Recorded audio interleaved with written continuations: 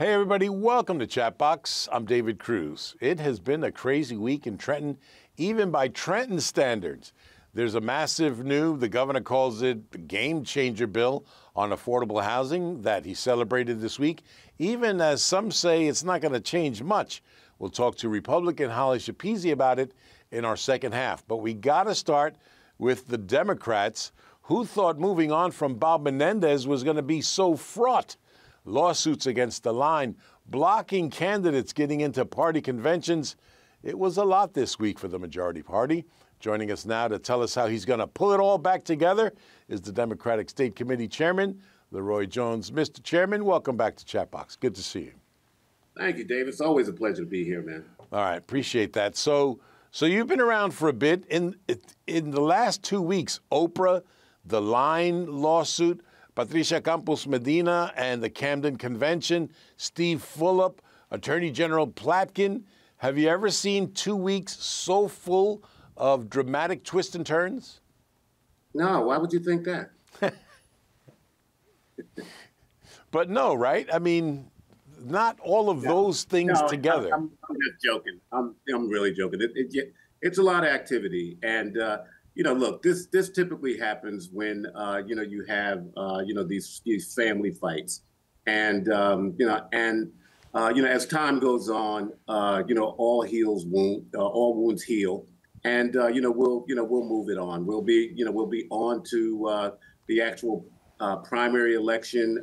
you know, certainly right after filing date, which is Monday, and you know, and it's game on. So I hope that uh, you know it will be a, an election that's based on the issues. Uh, you know, right now, uh, you know they they haven't been.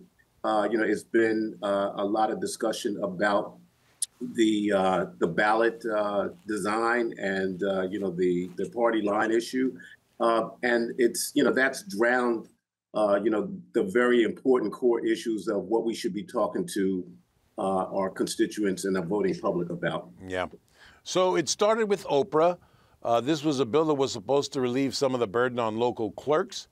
Um, it was found to have tons of loopholes and the changes that were actually a burden on transparency. Uh, it was on a fast track on Monday and was tabled by Thursday. Who, who screwed that up?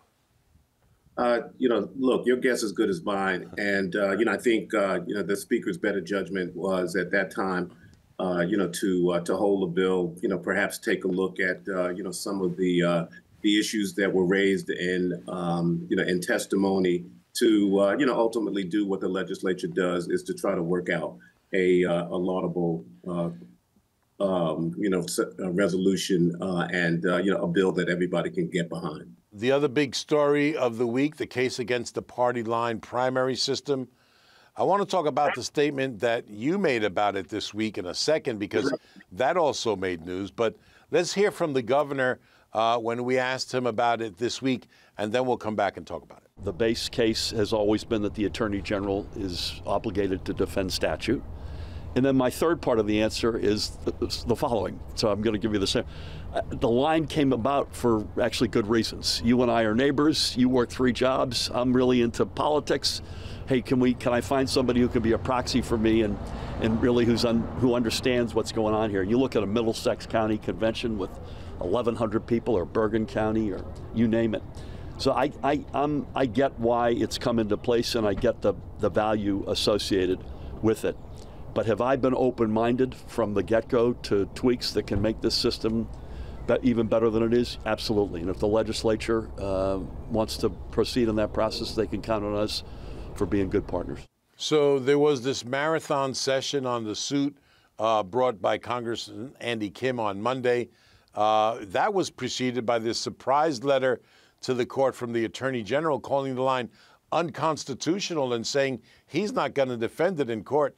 You heard the governor there said, yeah, he's supposed to defend it in court.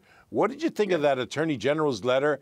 And, and did you take anything away from what you heard or, or read about the testimony in the case on Monday? So uh, you know the the um, the letter obviously uh, you know caught the attention of uh, you know of the judge, and uh, you know there was a bit of admonishing uh, you know of the uh, attorney general yeah. for being so late into the game. uh, you know, I agree with the governor. I think the attorney general's uh, personal opinion should not necessarily be part and parcel of uh, this process. Uh, you know, his uh, you know job is to defend uh, the statutes in the state of New Jersey, and you know, it was it was a quite a surprise to everyone. Um, you know, I, I, hate to say this, but, you know, because I know the attorney general personally, it was a little short-sighted on his part. you know, and sometimes you know things are just left well, you know, left alone, and that's well enough. But uh, you know, he opted to you know to take the action that he did, and I think his hand got slapped. What is that that you were trying to say in, in your statement this week? Ballot uniformity. What what does that mean? So, uh, so David, if you look at uh, you know ballot design across the state, you have 21 different counties, right? You have 21 uh, you know different um, uh, presentations of a ballot. Uh, you know, I believe that uh, you know there you know there has to be uniformity you know across the state. I believe that you know you know organizations you know regardless of who they are have the right to associate uh, with candidates of like interest and uh, you know and like mind.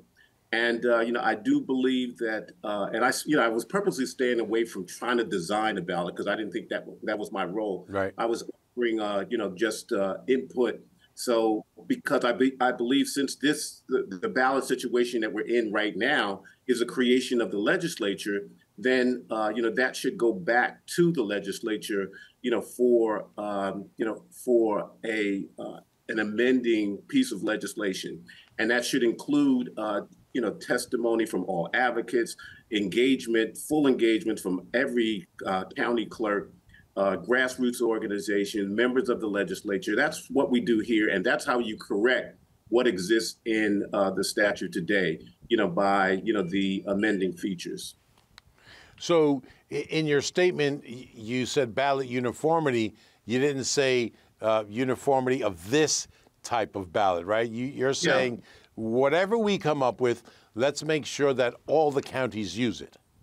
That, that, exactly what I was saying. What I also did not, uh, you know, did not, um, you know, suggest opposition to was the block ballot that folks are talking about. I, you know, again, um, you know, I'm a believer in uh, the right to associate. I think that's a constitutional right. Uh, you know, I believe in the legislative process because that's where you get engagement from all segments of the community.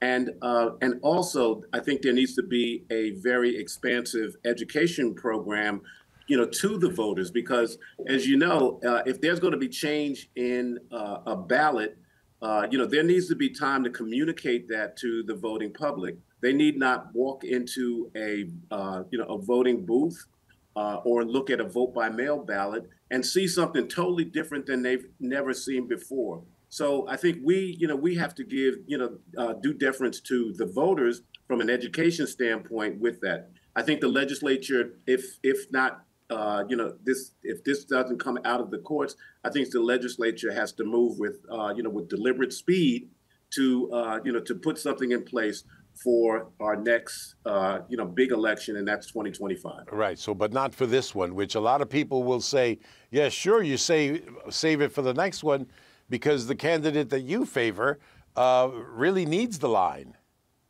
I, you know, look, I, I don't think so, and uh, I'm one of these individuals that uh, you know, if there's a change right now, then uh, the playing field changes. I'm still putting the same team on the playing field, and we're going right. to play out of a playbook that uh, you know that looks for a victory. So I'm not one of these individuals that is afraid of you know any change. Yeah. I just believe that uh, you know there needs to be uh, you know time to you know to educate voters. I think we have the right to do that. I don't think they need to be surprised by anything. And uh, you know, and again, ballot uniformity is something that should occur in every county. Nobody should be subject to, uh, you know, that ballot Siberia that we often hear talk yeah. about. That doesn't happen in the county that I'm in, from Essex, but uh, you know, obviously, it's happened in other places. Those kind of things need to be cured, and those are the things that uh, you know I'm advocating for in uh, you know a legislative solution. So uh, I'm running out of time, but I do want to talk about the Senate primary uh, which is the backdrop to all of this. Steve mm-hmm. Fulop pulling his support, not only pulling his support of Tammy Murphy, but telling her to drop out of the race. Uh, how much impact do you think that's going to have on this? Um, you know, look, I, I think people are uh, driven by their own convictions. I don't think, uh, you know, any one person, uh, you know, will have, you know, that level of influence. I thought it was surprising, uh, you know, that uh, a um, a person would uh, flip on their endorsement, um, you know, and why that occurs and you know what drove Steve yeah. To do what he did.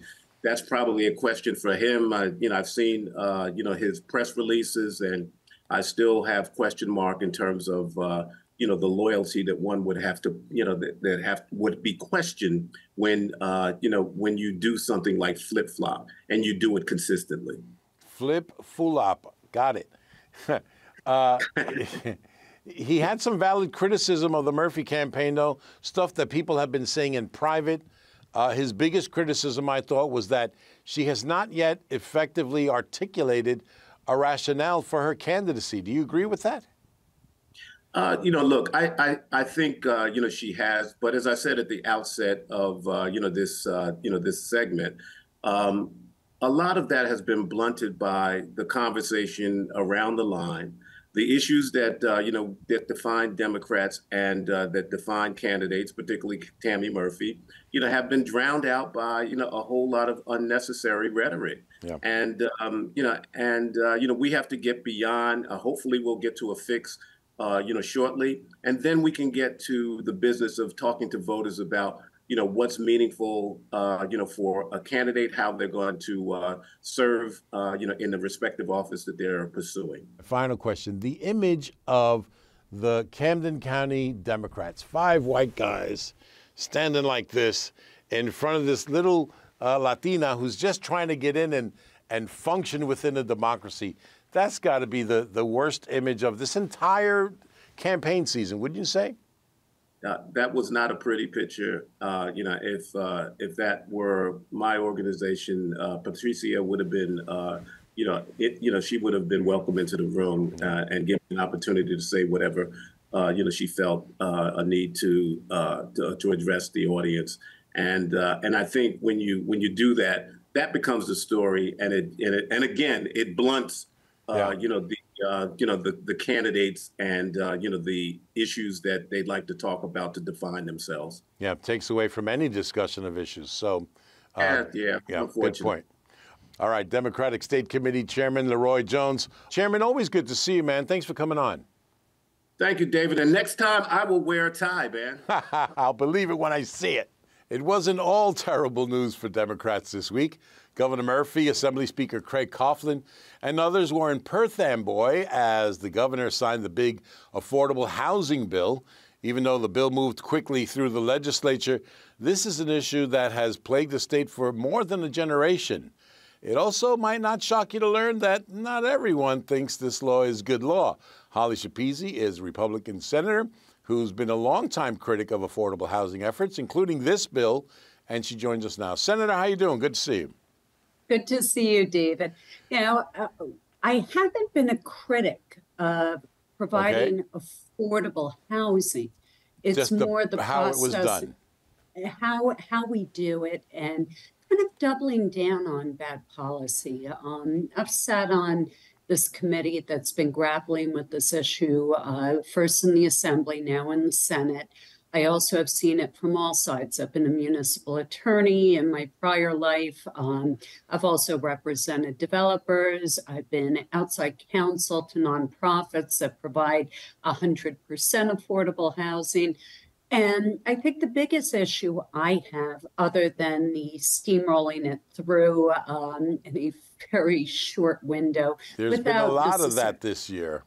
Oh, a lot of it. Yeah and um, doing so in a fashion that really did not give stakeholders, i.e., the municipalities, um, really an ability to address and voice their concerns in a meaningful way. Um, the numbers and the magnitude of the numbers that we're dealing with are crushing. New Jersey is already the most densely populated state people are still reeling from round three and the implications on their infrastructure, their communities, uh, traffic, all of it. And now we have an obligation that's been codified of almost an additional 90,000 just affordable units that are supposed to be built in the next decade, primarily in suburban areas where you don't have the same sort of resources. You don't have public transportation. You don't have school funding coming up from the state in the event that you need to expand your schools. And it, it kind of doubles down. And for me, the main concern I have is that the entire premise of Mount Laurel was based upon trying to right a historical wrong where uh, people of different minorities, people who were part of generational poverty, were excluded from the process of being able to have home ownership. And the way that these get built, necessarily, particularly because of the numbers, pretty much precludes that opportunity for affordable home ownership at any time in the future because everything that's being built is super high density, 100% rentals without any sort of home ownership opportunity for the very populations that we're claiming that we're trying to help. One of the things that this bill encourages is taking uh, former retail sites um, former kind of strip malls and um, uh, office parks and turning those into affordable housing. Uh, isn't that an option in Bergen where retail is kind of shrinking? Well, I mean, there's always the ability to repurpose, but if you're forcing these kind of phantom obligations on community by community, and we have 70 of them in Bergen County, with no thought to kind of regional uh, planning, no thought to if you have two contiguous communities where you're forcing a thousand new units of housing into each simultaneously, where you have, you know, two lane roads, um, you know, or maybe a regional school. It really does have significant practical implications. I represent an area that has some of the most significant flooding concerns in the state because there's no place for the groundwater to go into. We're buying up properties pursuant to Blue Acres and under DEP, you know, ever-changing regs on you know one portion of the community, and then two blocks away, that same community, after they just bought out to try to alleviate some of the congestion and some of the flooding due to you know these issues is now being forced to have to allow three four five hundred units so but um, but what are you saying? Are you are you saying that um, only urban communities should take up the responsibility of affordable housing? Or are you saying that suburban communities should be maybe uh, uh, made affordable for home sales well, it's uh, first off, urban communities get a pass. Yeah. And so, what people don't understand is we fall into what's called Region One. We are, our suburban communities are getting the affirmative obligations of Jersey City, of Hoboken, of Weehawken, of communities that have done billions and billions and billions of dollars of growth and high end growth. Jersey City, right now, their rents are amongst the highest in the nation. And they've built virtually no affordable housing over the past decade. Their obligations, based upon all that new construction that they did, none of which is affordable, most of it's gentrifying and kicking out people who had been in Jersey City forever because they can no longer afford to live there their obligation is being passed off to the Paramuses of the world, the Westwoods of the world. And we are now having to absorb their obligation without any of the state resources yeah. that they've received the, to do so. The, the mayor there, by the way, this week testified and said that he wants to take uh, on that uh, requirement. He says that they shouldn't be exempted anymore, just as an FYI. Uh, so, will they, are there going to be fewer legal challenges? Do you think? No, unfortunately, I think this is going to start a whole new round of legal challenges. Um, one of my concerns from a practical perspective were the time frames that were put in this as well, because communities have affirmative obligations for in early 2025 to have these entire plans approved approved um, within, uh, I think, their first council meeting after reorg and seating new council members and potentially new mayors. They've got to affirmatively approve numbers that were given to their community by DCA it's going to create a lot of chaos in the first quarter of 2025. Yeah. And, and, the busiest people are always uh, the attorneys. So, um, so let me ask you this on a couple of things that are unrelated uh, to affordable housing. This OPRA bill, um, not so much the pluses and minuses of it, more so, do you think that the legislature uh, is going to be able to to make new rules that make anybody happy? Uh, and the same with the line, which the leadership from both houses um, say that the courts don't need to fix. Let the legislature fix it. First on OPRA and, and then on the line. So, on OPRA, um, as we've seen as of late, even the most unpopular of ideas, maybe to the uh, public at large, uh, still managed to get through in the current administration. Um, you know, I personally, once again, wearing multiple hats, I've represented municipalities, I've seen OPRA get abused. Um, and uh, particularly our clerks get abused by yep. people who take advantage of the system. So, do I believe there needed to be some type of OPRA reform? Absolutely. Devil is always in the details, and I think there's probably going to be a couple of iterations that we see between now and we've been called back on April 15th for a you know special voting session, and I could only assume that uh, that's going to be one of the bills that's on it. Um, it'll be interesting to see what it ultimately ends up looking like. What about the um, line? Do you think the legislature can can fix that? Or do so you or do you think the line is is a good idea? So I think there are the pros and cons on that. Um, we have seen with, and a lot of this is going to tie into the terrible quote unquote Election Transparency Act, which is anything but. Yeah. Um, and the problem that we're going to have in New Jersey is without the line, it's going to be chaos. It's all going to be about whoever has the biggest super PAC that can circumvent, can shake down yeah. people to give them as much money as possible. And so now we're going to see the same level of money and kind of nastiness uh, taking place in every primary um, with people being incentivized to put up phantom candidates, people being incentivized to put forth um, opposition pieces. We saw in my district, even Josh Gottheimer. Um, last cycle, uh, there was a primary going on for the Republican side against Josh, and Josh's super PAC went out and, and interfered in the Republican primary to try to sway people to one candidate. And I think we're going to see that throughout every primary in the state. Do I believe that people should end up in ballot Siberia? Absolutely not.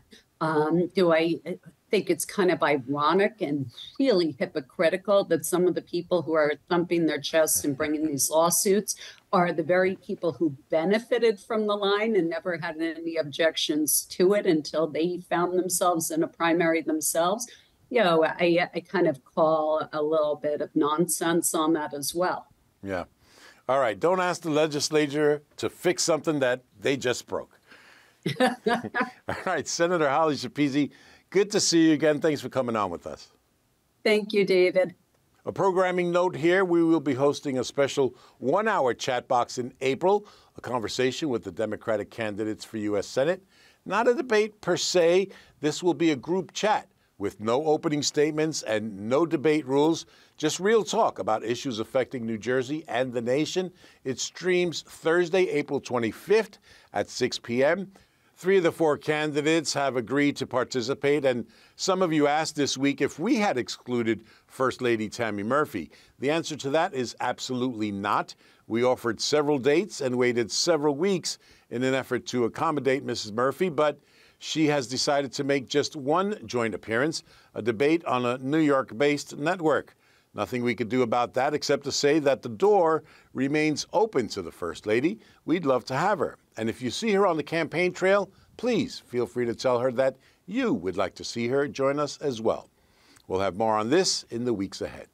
And that's Chatbox for this week. Thanks also to LeRoy Jones for joining us. You can follow me on X at David Cruz NJ and find web extras and full episodes when you scan the QR code on your screen. I'm David Cruz. For the entire crew here at Gateway Center in downtown Newark, thanks for watching. We'll see you next week. Major funding for Chatbox with David Cruz is provided by the members of the New Jersey Education Association, making public schools great for every child. Promotional support is provided by Insider NJ, a political intelligence network dedicated to New Jersey political news. Insider NJ is committed to giving serious political players an interactive forum for ideas, discussion, and insight. Online at insidernj.com.